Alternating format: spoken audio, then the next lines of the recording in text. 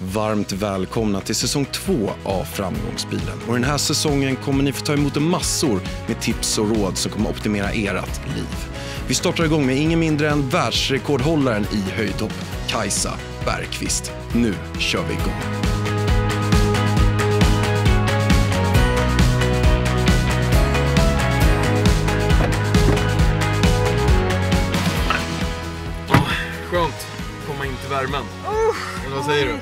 Alltså. Fan. Men ändå rätt härligt med snö. Det har inte knappt varit någon hittills. Ja, det är faktiskt härligt. Åker du någon skidor eller Eh, snowracer? Du känns som en typisk pulka-person. hur är en typisk pulka-person? Den går upp lite halvgalen, sätter sig längst upp, kör störtlopp ner och halvt dör. Ja, jag har faktiskt blivit religerad så här från en skidbacke en gång. Fast det var på skidor. För jag åkte för fort och vårdslöst. Så jag fick åka hem. Aj. Men det tror jag liksom har varit lite... Jag har blivit lite fegare med åren kan jag säga. Men det är nog liksom den, den inställningen har varit rätt bra att Men ha har, du, också. men har du lite så här eh, all in inställning på allt du gör? Kan du vara en sån som om du ska tävla med någon i typ Fia med knuff att du typ kastar och du mördar personen efter? Jag skulle nog säga att det där hänger nog i vad man än gör faktiskt. Jag har väldigt svårt. Ibland försöker jag verkligen så här om man spelar med barn eller så att man liksom nu ska det inte spela någon roll här liksom. Då får man bestämma sig för det innan att nu, nu är det okej att förlora. Liksom, Nu är det okej, så. det, är- det är två femåringar Ja. på andra sidan. Jag behöver inte vinna den här. Nej, men då måste man bestämma sig innan liksom, så att man liksom stänger av den där Ja, tävlingen om jag förlorar helt. så förlorar jag inte på Ja, riktigt. precis. Jag, jag, jag Fuskförlorar bara. Ja, exakt. Men när du var liten, hur kom du in på att du var vinnarskalle? Hur märkte du det då? då? Eh, Alltså jag tyckte det var kul om det var någonting med tävling. Då försökte jag hitta saker ofta som där jag kunde tävla även om jag inte hade någon att tävla med. För att det var inte så många som kanske tyckte det var kul på samma sätt som jag gjorde. Så att då, eh, då kan man hitta på saker som att eh, jag skulle springa så här 100 varv runt huset hemma. 100 varv? Ja men ja, ja, jag hade ju inget begrepp kanske vad 100 varv var. Men liksom det var en så här jämn bra siffra liksom. Så. Sen tror jag mamma ljög för mig för sig. Jag tror aldrig, aldrig jag sprang 100 varv runt huset. Ja, Bittert Hon bra. tyckte nog det var bra Det var efter, hennes ängel. eller efter 15 varv så bara, nu är det klart. Nu får är det klart! saft." Gå nu.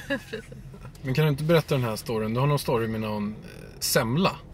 Som, som jag har hört som någon Semlan. legendarisk historia som folk berättar om och om igen och den sprider sig som en. Vandringssägnen Ja, det är lite grann som en semlan. fabel nästan. Det var inför en tävling i Tyskland 2006 på inomhustouren. En ganska liten tävling egentligen. Och eh, jag kom dit sent på kvällen så jag missade middagen och försov mig. Tävlingen skulle börja så här klockan 12 eller någonting och jag vaknade klockan 10. Och kom ner och var frukosten stängd också. Och... Eh, Nej, det var ju liksom bara katastrof. Jag älskar att äta. Jag är hungrig nu också förresten. Ja, jag Vi kan stoppa och köpa en korv eller Vi kan, vi kan köpa en semla om du vill. Ja det är bra. Nej men då, då kom jag ner till frukosten så var stängd och jag blev helt så här tokig. Och så eh, mötte jag Stefan Holms eh, pappa på vägen upp till, eh, till rummet då, som heter Jonny Holm. Ja, Stefan Holm är höjdhopparpolare. Ja precis. Och han förstod ju liksom min benägenhet att det här var ju kris. Så då gick han upp på sitt rum och så kom han ner efter en liten stund så med en sån liten eh, inplastad eh, låda med eh, två semlor som han hade haft med sig då till Tyskland från så här Forshaga i, i Värmland. Ja. Så då satt, satte vi oss där, tog en svart kopp kaffe, åt den här semlan och sen en timme senare satte jag världsrekord. Som faktiskt fortfarande står sig. Och så det var så, här, Så sjukt ju. mot alla odds. Det var absolut sämsta förberedelserna man kan tänka sig. Men ibland så tror jag att det där, man ska bryta mönster också. Ja. Då kanske man slappnar av och så får man ut ännu mer liksom av, av sig själv. Men Det var om- du hoppade 206. eh, 208. 208? Eh, ja. På, på det- inomhus. Inomhus ja. Så det, det står sig i alla fall än så länge. Semmeldieten. Semmeldieten kan Semmelboosten. Semmelboost. Yes, mycket mandelmassa. Du har gjort så en extremt bra karriär och, och är ju som sagt liksom bäst i världen. Men det känns fortfarande som, när vi pratade lite grann innan på telefon, lite så att du har inte riktigt liksom uppskattat resan. På det Nej. sättet. Eller, eller varit nöjd. Haft svårt att vara nöjd. Ja, ja men det, det är väl lite grejen. Jag tror, tyvärr, det är väl liksom baksidan om att vara en sån här liksom vinnarskalle och tycker om att tävla och sånt där. Det är väl liksom att man är aldrig nöjd. Det var liksom några enstaka tillfällen under karriären kanske när man hade vunnit eh, liksom VM eller satt i världsrekord. Det är klart man var otroligt glad. Mm. Men annars nästan jämt så var det så här bara åh, Oavsett hur högt man har hoppat nästan så varför tog jag inte en höjd till? Mm. När är nästa tävling? Vad är nästa grej? Vad ska jag vinna nästa gång? Eh, så det var väldigt sällan som man bara satt ner och var så här. Fan vad bra jag är liksom. Gilla, gilla läget. Och det kan jag egentligen tycka lite synd så här efteråt. Att man kanske inte kunde. Jag kan ju se så här när man tittar tillbaks på det. Så bara, det där var ju grymt. Mm. Men jag kanske var besviken. Även om jag hade hoppat två meter så. Ja, det blev inget världsrekord den dagen. Så då blev man liksom så här. Var ändå inte helt eh, tipptopp liksom. Nej, man kan ju missa lite grann av resan. För att Ja. en grej är att slå alla rekorden, men att du var liksom så bra som du var och inte Mm. var nöjd. Då, blir, då kan det ju vara så, men när ska man vara nöjd?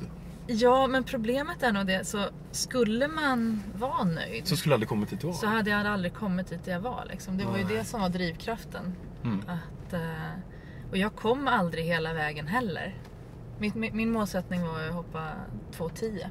Mm. Och det var liksom, jag var helt övertygad, helt säker på att jag skulle göra det. Jag såg Mm. det så framför mig. Jag kom ju aldrig, jag kom ju aldrig dit. Men jag tror liksom att eftersom det var målet och det var det som drev mig så då kom ju allt det andra på vägen. Jag är helt övertygad om att jag hade inte liksom hoppat inomhusvärldsrekordet till exempel. Mm. Om jag inte hade haft 2.10 som mål. Liksom. Så att, Men känner du lite grann att hela din karriär inom höjd har varit misslyckad nu genom att du har missat det på två centimeter? eh, nej, det gör jag inte. Inte nu i efterhand. Absolut inte. Jag är jättestolt över det jag gjorde. Så. Men, men, men en- då, då kunde jag, inte misslyckad, men inte fulländad Inte fulländad. Nej.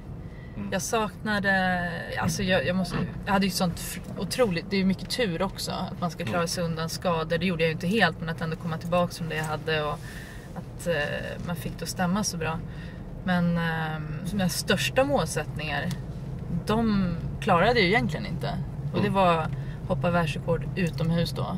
Hoppa Mm. 2.10, det är ju fortfarande ingen som har gjort det. Och eh, att vinna OS-guld. Mm. Den missade jag också.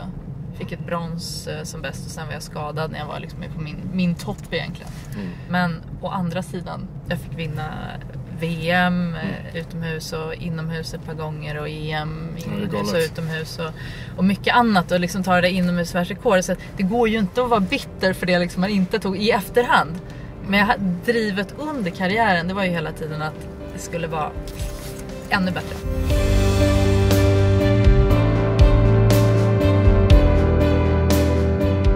Du ledde ju också ett tv-program eh, för något år sedan som eh, var väldigt eh, betydelsefullt, som du gjorde med din bästa vän. Vad var det för någonting? Eh, regnbågshjältar heter Mm. det. Drömprogram att få göra verkligen. Mm. Att få göra liksom ett ämne som engagerar en så mycket. Och det, det handlar ju om några av världens bästa idrottsutövare som också är gay. Och hur de liksom har kunnat tackla det att vara idrottsstjärna och homosexuell samtidigt. Sverige är ju, har ju kommit väldigt långt och i många ställen i världen har också liksom kommit långt i de här frågorna. Men idrotten är knepig alltså Mm. på sina håll. Därför så, så ville vi göra det här eh, programmet. Och jag menar att få göra det då med sin, sin bästa kompis, resa runt i, i världen, intervjua personer som man ser upp till, komma dem in på livet också. Och jag, jag gillar ju den där... Eh, jag gillar att eh, intervjua. Mm.